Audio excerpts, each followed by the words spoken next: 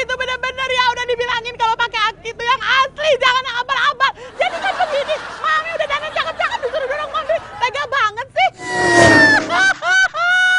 Dandanan Mama aja lapor Mama.